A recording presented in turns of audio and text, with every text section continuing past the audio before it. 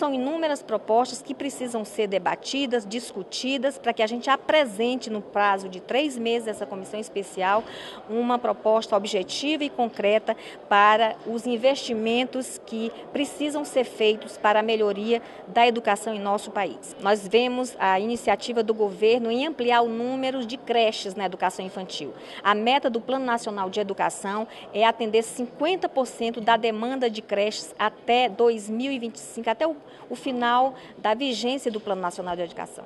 É preciso também fazer forte investimento na formação e na qualificação dos professores que atendem na, na rede de educação básica. Nós sabemos que há uma, um nítido uma nítida rejeição dos governos e das prefeituras no pagamento do piso salarial nacional dos professores. O professor também tem que ser tem que ter um salário justo e digno e ter um preparo para estar na sala de aula, melhorando a qualidade do ensino em nosso país.